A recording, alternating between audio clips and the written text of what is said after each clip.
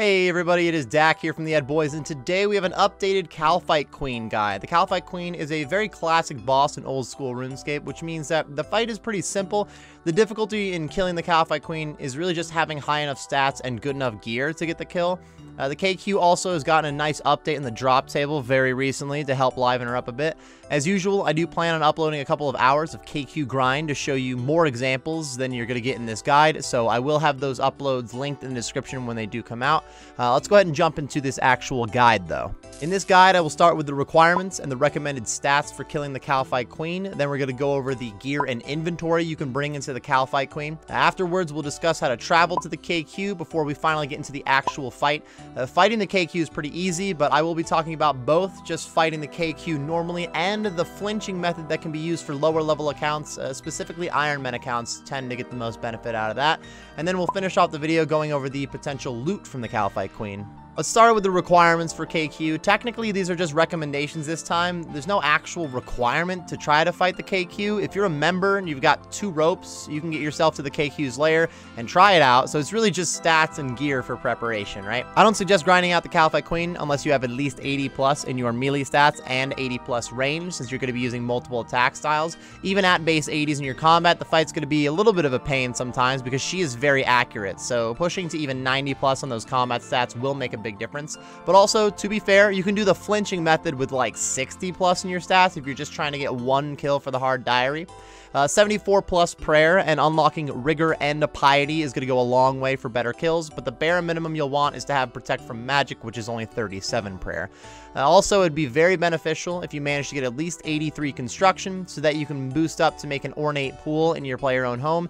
And also having the fairy ring in your player-owned home is going to go a long ways.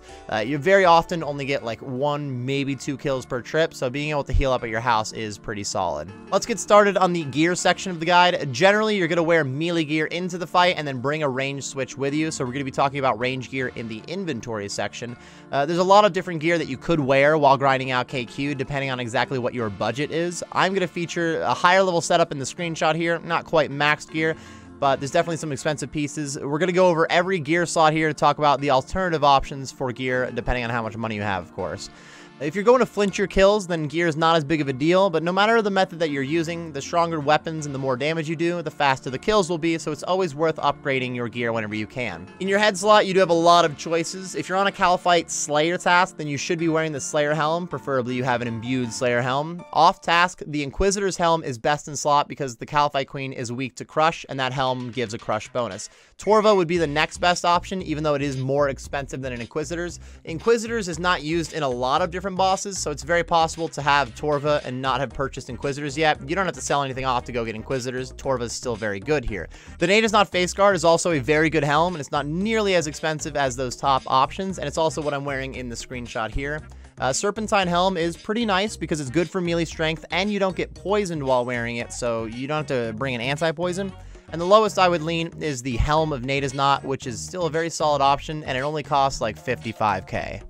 In your cape slot, the Infernal Cape is the best melee cape in the game, but for this boss, the Mythical Cape is actually the next best. Uh, it does have a crush bonus on it, and like I said, the KQ is weak to crush. The Fire Cape is still a great option for melee, and if you have not gotten your Fire Cape quite yet, then I would just wear your Ava's device with you. You're going to be using range in the second phase of the fight, so normally you're bringing an Ava's switch, so it's not that bad just to wear it. In the next slot, we've only got a few options here. The Amulet of Torture is the best in slot melee choice, with the Fury still being a good second choice and much cheaper.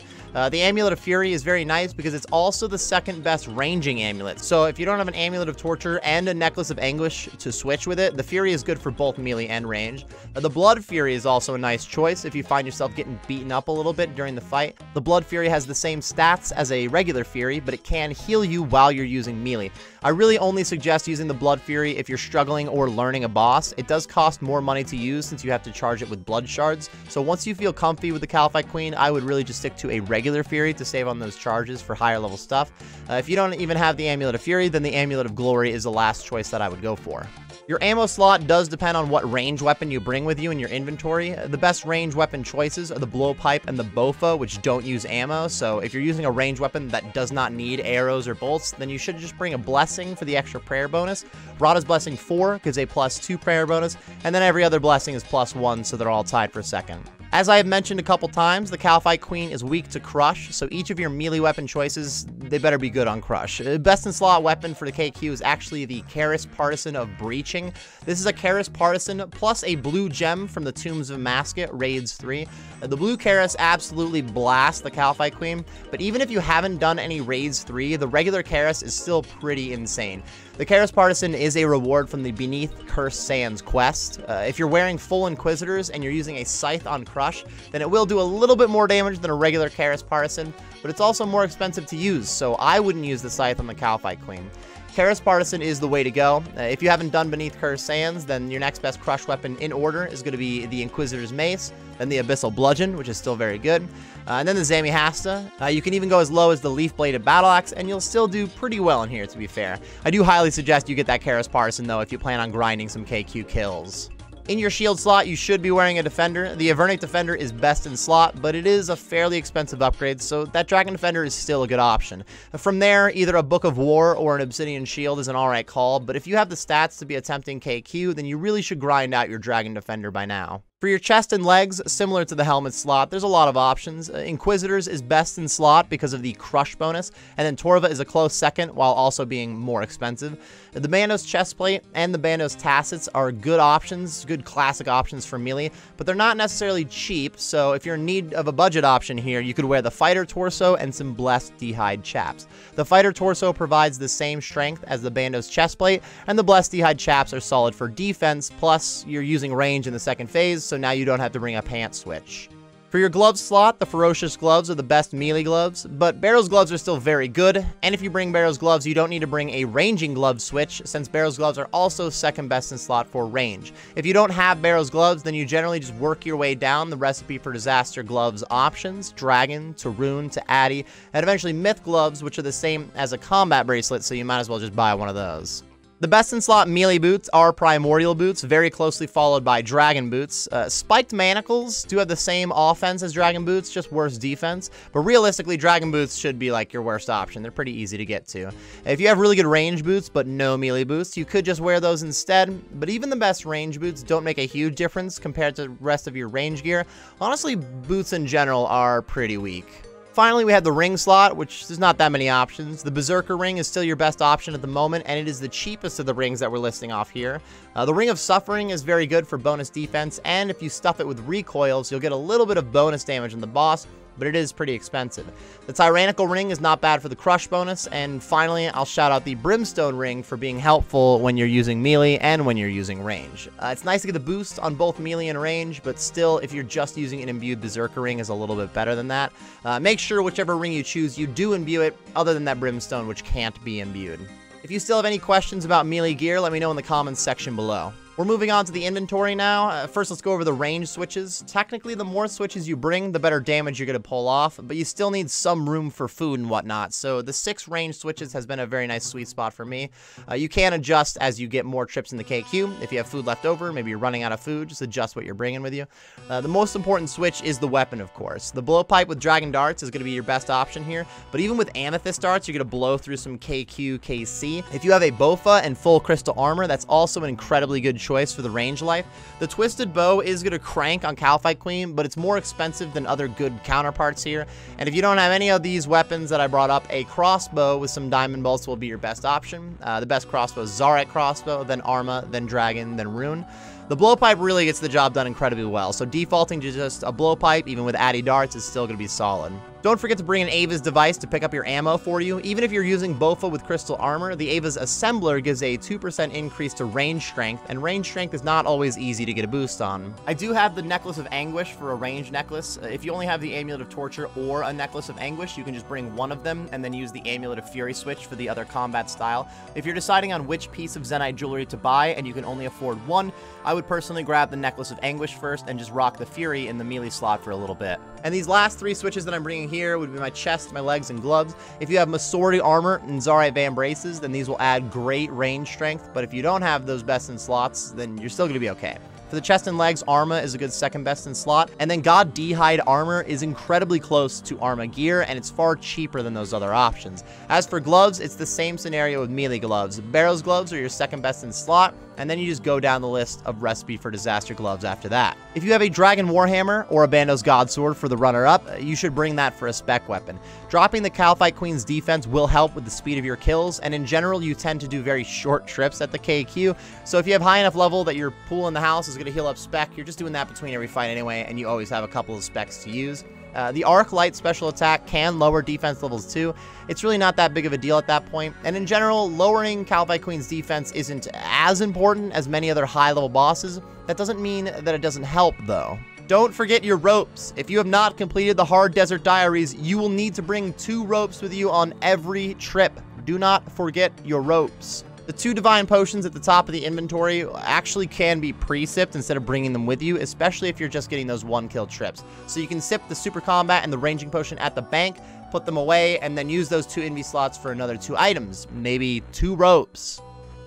Up here, I do have a prayer potion to heal up prayer points. Uh, again, if we go back to the potential one kill trips, sometimes you're not going to need to even sip a prayer potion in one kill, and you might find that eventually you don't need to bring a prayer potion at all, since you can just heal up at your house uh, or at the pool at the Ferox Enclave, maybe. This pink potion is a super anti-poison. You do need some sort of anti-poison unless you're wearing the Serpentine Helm during the fight. Super anti-poison is very cheap, and you're not going to go through that many anti-poisons throughout the grind in general.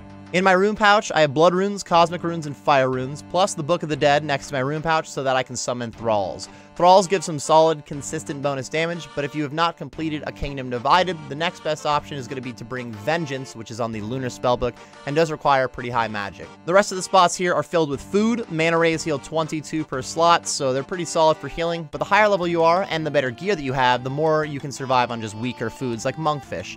One more time, if you have not completed the Hard Desert Diaries, do not forget you have to bring two ropes every time you kill it, not just the first time.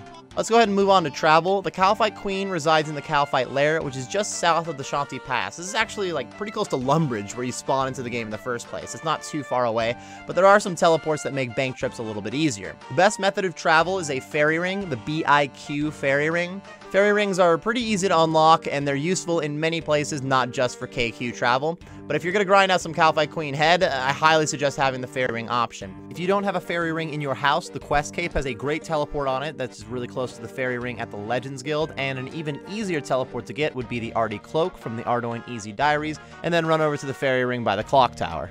If you're not using a fairy ring, I would suggest using a glory teleport to Al Kharid and just bank at the Shantay Pass. Just getting to the lair is only half of the travel. When you enter the Kalphite lair from the desert, you are going to need a rope. In fact, you're going to need that second rope to get all the way to the KQ. You'll need to bring two ropes every kill until you complete the Desert Hard Diaries.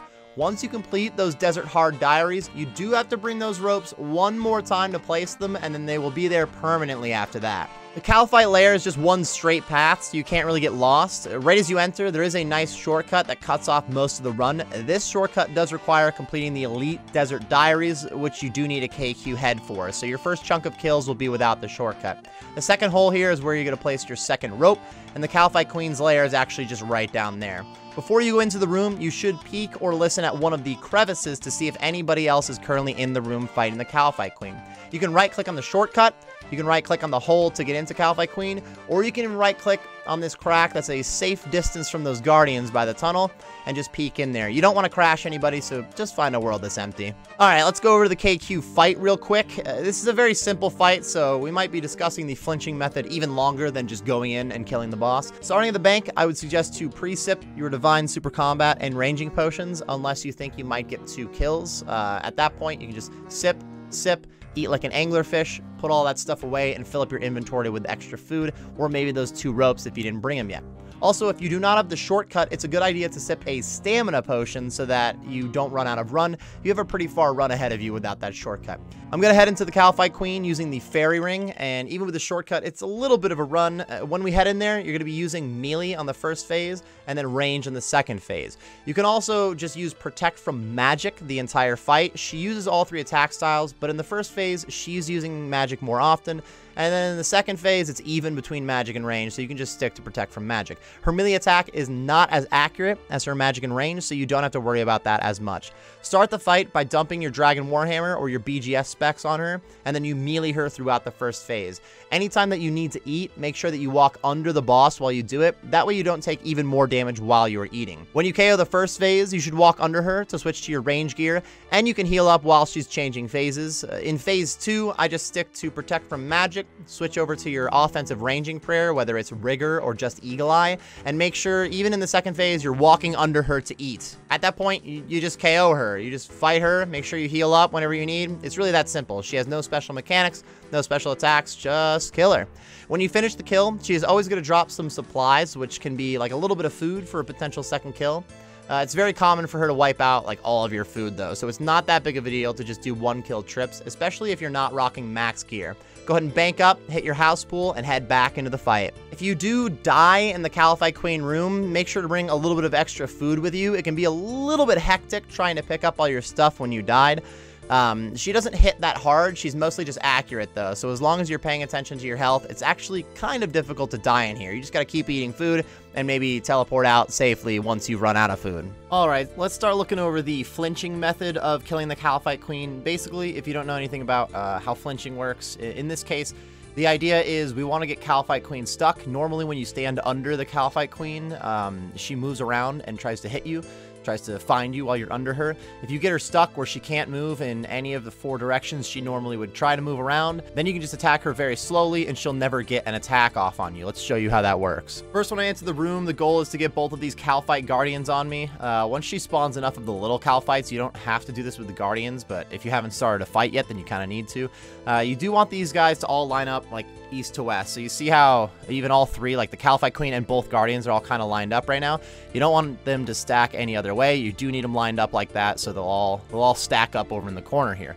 Also in the corner here, I want to show you that if you hold shift and you right click on any monster, uh, this is as long as you're using RuneLite, this is a RuneLite plugin, uh, you can first of all tag that monster. I'm going to untag the Kalphite Guardians and then tag them all again to show you that's how they are highlighted. Uh, that mostly helps with the Kalphite Queen, but with the Guardians, it'll help with the visual too.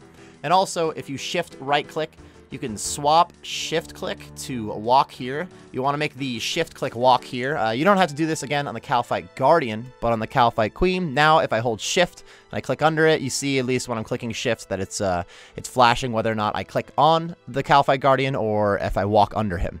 It'll be more obvious why this is helpful in a second. So when we run out of here, I want to actually run a little bit north of this second Guardian, a little bit north of the Kalphite Queen. That way this one Guardian's going to follow me around to the side. Oh my goodness. Eat some food. This is where you're going to use the vast majority of your supplies, is just setting this up. Uh, as you can see right now, there is a Kalphite Guardian on the north and on the east side of the Kalphite Queen. So she can't walk in either of those directions unless she's like catching up to the Kalphite Guardian. Whoops. Um, so really all we're doing is we're tracking her towards the wall on the south and the west side of her. Once we pin her up on the wall, uh, she won't be able to take a step towards the Guardians, and she won't be able to take a step towards the wall, and basically she's just going to be stuck. Now you can see that she's cornered up on these two rocks. She won't really be able to move anywhere for the rest of the fight, so all I have to do is pod up and go ahead and start attacking her once and running back under her. You'll notice that I'm using some full Verac's here. I didn't bring up full Verac's in the gear guide because it's really not great to use in here, but it is possible to KO her with Verac's, so I figured I would show it off a little bit. Uh, the trick here is you have to wait until her green health bar disappears before you attack her again. If you attack the Kalphite Queen too soon, like you attack twice in a row, um, even if you run under her between those two attacks, she will attack you. If you wait for the health bar to disappear, then you attack her and run right under, uh, she will never use an attack. This does get slow at this point. Uh, on the second phase, she's using Protect from melee, but Verac's can hit through Protect from melee. In general, she doesn't protect 100% anyway, so you could still use like a Keris Partisan to get through the second phase. And uh, you can see why it would be a pain to get like a lot of kills through the power of flinching, but if you have weak gear and you just need the one Kalphite Queen kill for the hard diaries, the flinching method is definitely the way to get it done. If you have any questions on what I just did to Trapper in the corner here, be sure to let me know in the comments section below. So the Kalphite Queen's loot table is pretty lackluster. It did get a little bit of an update with that Dragon Pickaxe. Every time you kill the Kalphite Queen, she will drop two things. The first will be a supply drop. It could be food or potions. It's not going to be a lot of it, but this can help with getting extra kills in a trip. Uh, the other drop is going to be like actual loot. Her regular drops are pretty weak, though the noted Zami wines are nice for Iron Men. She can drop a Dragon Chain Body and a Dragon Two-Hand Sword, but those are both pretty cheap for how rare they are. Uh, the new big ticket item on the KQ's drop table is the Dragon Pickaxe. Just before the Dragon Pickaxe was added, the average KQ drop was 43.6k, according to the OSRS wiki. The Dragon Pickaxe is a 1 in 400 drop rate from the Kalphite Queen, which the update has already affected the Dragon Pickaxe price. When I'm voice recording this right now, uh, it's currently 5 mil for a Dragon Pickaxe. If you got one pick every 400 kills right on the drop rate, that would add 12.5k GP per kill on average. That is just under a 30% increase in profit for the Kalphite Queen, which is pretty significant, uh, but it's likely to continue like slowly dropping that Dragon Pickaxe price.